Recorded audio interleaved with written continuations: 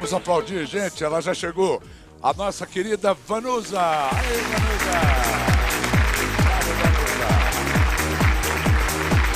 Bom, querido. Olha, Prazer. Vanusa comigo. Vanusa, tá- você viu que eu estava falando de Halloween, né? Ah, eu tenho pavor de Halloween. Sai fora. Saio fora, tenho medo. Eu acho que é o dia das as bruxas estão soltas. Eu quero ficar na minha casa, assistindo um Quietinha. filmezinho que- quietinha, comendo uma pipoquinha. E eu que fui com o Leandro no México, em Los Cabos, gravando a. é, Chama-se El Dia de los Muertos. É tradicionalíssimo lá. É a espécie de Halloween deles Mas lá. deve ser um pavor, né? Tétrico. Nossa Um Senhora. horror.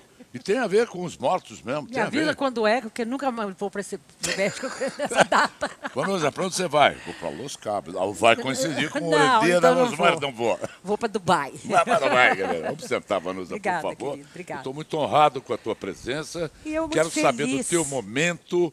Quero saber do teu... Olha que coisa mais linda, vou mostrar. Câmera, por favor. Este é o CD Vanusa Santos Flores, que é o nome do novo CD que é a Peraí, eu abrir Depois de pra 20 anos, né, Vanusa? É, 20 anos sem gravar. 20 Só anos sem gravar. Me ajuda, que é muito bonito. Eu É. já vi. Tem um Olha só, vitral peraí, aqui. Com calma, com calma, telespectador ter as emoções. Tá bonito aí? Tô vendo. Agora puxa aqui. Puxa aí. Olha. Ficou E aqui lindo. tem o CD. Cadê o CD? Ah, não, tá ah, aqui. o CD está aqui.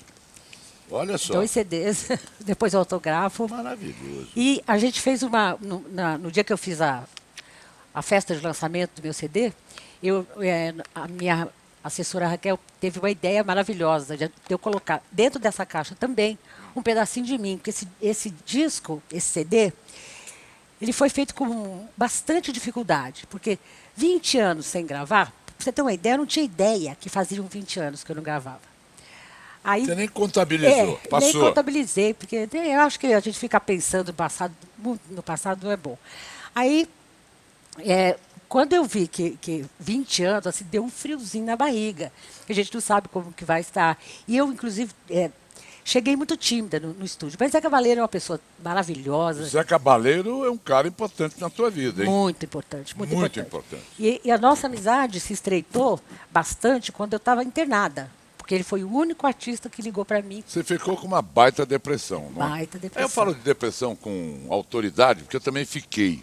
Já revelei eu acho que isso, quem já falei. nunca, né? Quem nunca? Não, mas a minha foi braba, e a tua foi a braba? minha foi muito brava. Foi depois do hino nacional.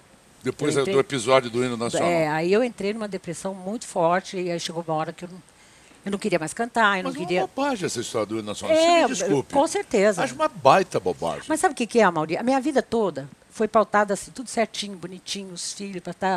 Então, de repente, eu cometo um, um- um- um ato é, que não foi por minha culpa. Eu tive uma crise de, de, de- de labirintite quando eu entrei na, na, na Assembleia. Na plateia. Na- é, quando eu entrei. Então, como eu sou muito teimosa, eu deveria ter falado, estou passando mal, eu não vou cantar. Eu entrei e tentei cantar. Esqueceu a letra. E aí eu esqueci tudo e, em minha cabeça e eu estava completamente tonta.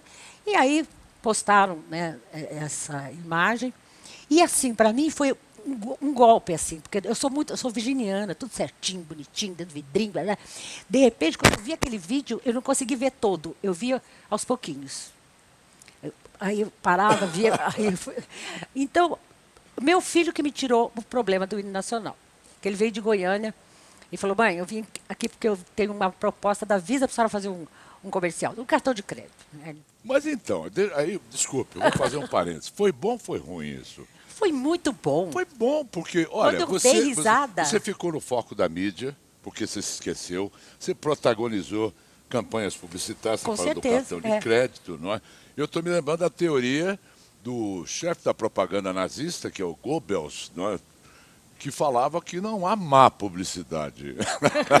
Todo mundo sabe do Goebbels, não é? É. Mas, no teu caso, você voltou. Você voltou à Você tona. acredita que foi, o meu vídeo foi um dos virais, dos primeiros virais. Assim, rodou 2 milhões de acessos em dois dias. O povo quer ver sangue. É, Esqueceu quer ver o a gente nacional. errar. Não, e sabe o que eu acho interessante? Por exemplo, eu adoro Cristina Aguilera, ela já errou o hino nacional do país dela. Ah, Tem um monte de artista que errou o, o hino nacional da- do próprio país. Não aconteceu nada. Comigo aconteceu. Eu fui, acho que fui a primeira, aí dei aquele vexame todo e pronto. Mas foi duro para aceitar.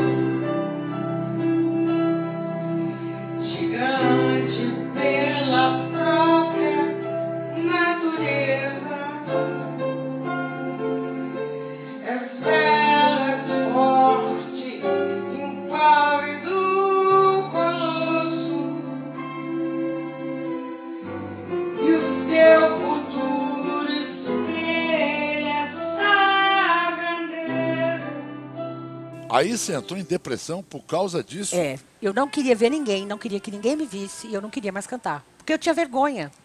Uma coisa que eu não tinha culpa. E aí você vai explicar por quê. Porque uns disseram que eu estava drogada, outros disseram que eu tinha bebido. E nada disso aconteceu. Foi mesmo. E aí foi uma dor muito grande. E aí, quando Rafael chegou e falou sobre o cartão de crédito, eu falei, ah, que ótimo. Ele falou assim, só que tem o hino. Eu falei, não, Rafael, não, não, não, não, Nina, não. Não vou fazer, porque esse hino vai me perseguir o resto da vida. Aí ele pegou, virou as costas e falou, tá bom, mãe.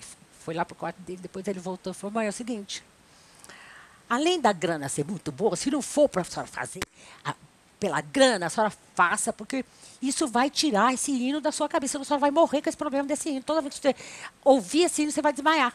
Entendi. Eu falei, você quer saber de uma coisa? É isso mesmo. Aí, quando eu fiz a propaganda, eu dei risada de mim, a gente riu muito na, na gravação. E passou. Isso foi importante E para você e se foi levantar da para as depressão. pessoas também, para as pessoas também que tinham eh, zoado muito de mim, verem que eu, no fim, eu dei uma, uma lapada, assim, né? E, e foi muito bom. Agora, depois disso, Vanusa, você esqueceu de novo a letra de uma música. Esqueci. por- Você esqueceu já foi, tão- foi brincadeira tua? Não, não, eu esqueci mesmo. Jura? Esqueci. E eu me lembro que foi a letra dos Sonhos de um Palhaço, uma canção do teu ex-marido, É, Antônio Marcos. o Antônio Marcos. Né? Então, eu, a, hora que eu, hora que eu fiquei sabendo, eu falei, a Vanusa é muito viva, agora ela fez de propósito. Não fiz, não Jura? fiz. Não, eu fui para Manaus e eu fui só com a banda. A minha assessora não foi comigo e eu estava passando muito mal. E eu, tanto é que eu cheguei lá, eu queria fazer o show logo, embora.